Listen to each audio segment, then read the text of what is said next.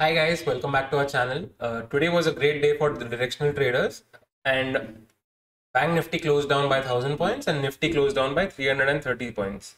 So like after today's fall, let's see what's most likely what's what can happen, okay, according to the price action.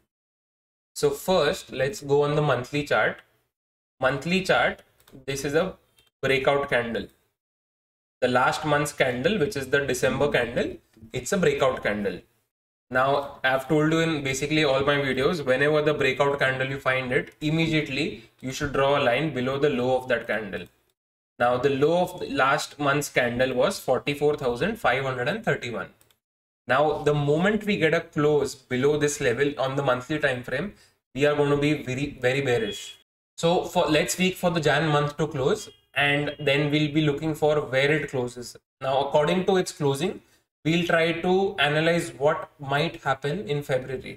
अगर like Jain के end तक हमको like low के नीचे closing मिल जाती है ये वाले तो बहुत मस्त बेरिश लाइक मार्केट चालू हो सकता है। करंटली तो लाइक वो एक बेरिश मारो बुजो कैंडल है तो लेट्स सी कहाँ क्लोजिंग मिलती है हमको।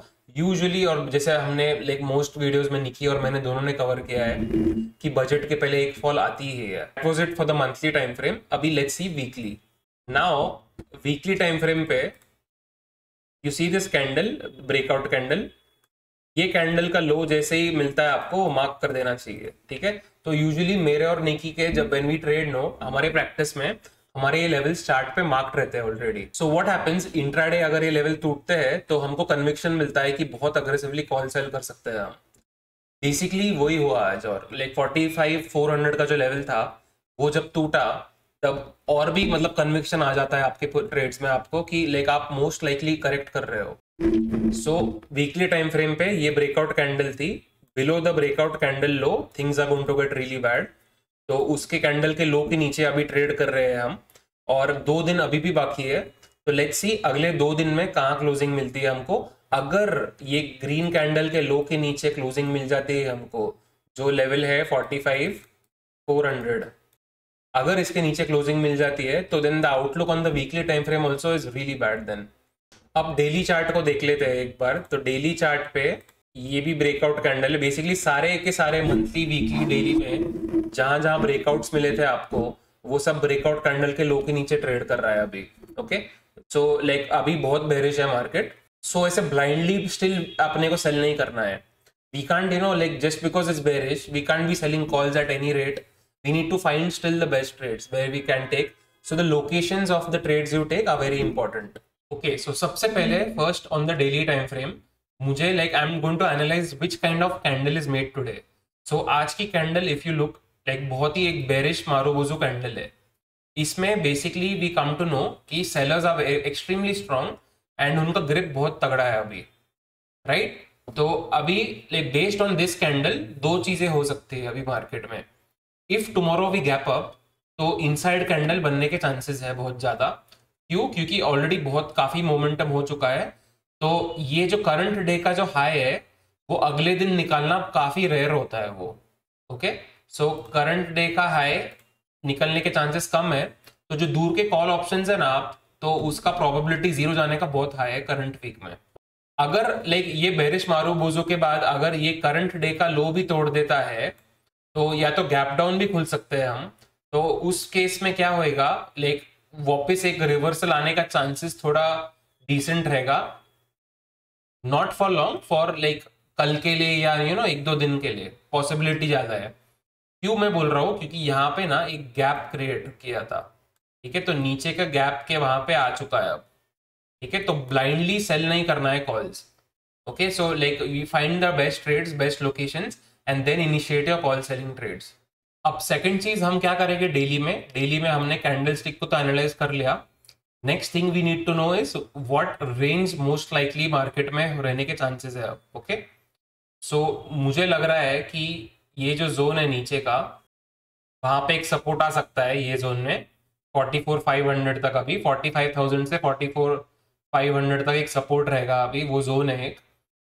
और ऊपर की तरफ़ में यहाँ ऊपर से सेलिंग आई थी, ये गैप डाउन का दिन था तो जब जहाँ से सेलिंग आई हाँ तो ऊपर के लेवल पे यहाँ पे ये सेलिंग जहाँ से आई थी, अब वहाँ पे रेजिस्टेंस है। तो डेली टाइम फ्रेम पे ये बहुत ही ज़्यादा बड़ा अभी सपोर्ट रेजिस्टेंस हो गया इसको प्ले कर ही नहीं सकते अभी। Basically since the ranges are so big it's time to play on the shorter time frame and shorter time frame के सपोर्ट रेजिस्टेंस के हिसाब से खेलना चाहिए अब।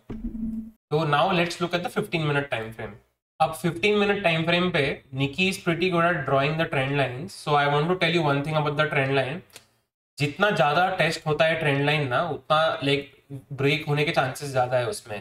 ये था फ़र्स्ट सेकंड थर्ड फोर्थ और ये फिफ्थ टाइम पे रुका नहीं है अभी okay so please note that trend line का break down was good today additionally 15 minute time frame पे यहाँ एक रेंज बन चुकी थी। तो अगर इसके ऊपर जाता तो बेसिकली मतलब बुलिश ट्रेड्स लेने थे और इसके नीचे बेरिश ट्रेड्स लेने थे। जब भी रेंज मिलती है तो रेंज ऊपर की तरफ़ तोड़ता है तो बुलिश होता है, नीचे की तरफ़ बेरिश होता है। उस हिसाब से आज ऊपर खुला था राइट तो मैं आपको बताता हूँ, सबसे बड़ी गलती लोग कहा, क्या करते हैं? उनको जैसे ही रेंज मिल जाता है ना यहाँ पे नीचे में तो उनको लगता है कि नीचे का सपोर्ट तो हो गया मेरा और ऊपर का रेजिस्टेंस में मिल गया। तो वो लोग क्या करेंगे? स्ट्रैंगल बेचेंगे। स्ट्रैंगल बेचेंगे तो क्या होएगा? बिकॉज़ रिस्क मैनेजमेंट टाइट नहीं होगा या money management it's not strong या तो सेटअप ही वीक होगा उनका। दो तीन चीज़ें हो सकते हैं। उस वजह से स्ट्रैंगल जिसने बेचा होगा ना आज, उनको मस्त लॉस हुआ होगा आज स्ट्रैंगल वालों को। बेसिकली जिनको, जिसका रिस्क मैनेजमेंट थोड़ा वीक है, उन लोगों की बात कर रहा हूँ मैं। तो इतना इजी नहीं होता। अब यहाँ पे रेंज बन चुकी है। Still it can be really bearish आप पीछे के चार्ट्स में जाके देख सकते हो आप। अच्छे अच्छे फॉल आते हैं।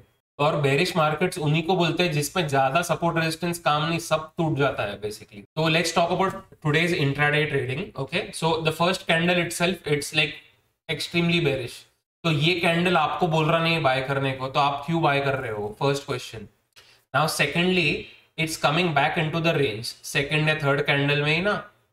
तो ये वापस रेंज में आ रहा है। तो यहाँ तक तो अगर मैं समझ सकता हूँ कि अगर कोई स्ट्रैंगल बेचा है वगैरह ना, यहाँ तक मैं समझ पाऊँगा। बिलो दिस लेवल 45 500 के लेवल के नीचे I really can't understand if someone has sold strangles और they are continuing the bullish trades probably you know it's not a good idea to do so additionally if you remember weekly के time frame पे आप हमारे सारे videos check कर सकते हो weekly analysis के भी।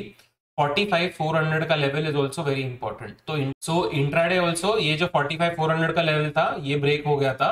इसका मतलब एक्चुअली इसी रीजन की वजह से मल्टी टाइम फ्रेम एनालिसिस करते हैं हम। क्योंकि हमको वो जो लेवल्स होते हैं ना, उसका इंपॉर्टेंस समझे।